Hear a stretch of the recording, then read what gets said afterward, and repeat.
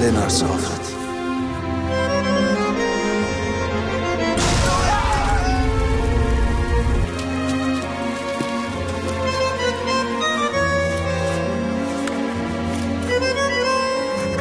Mijn aller, allerliefste Alfred.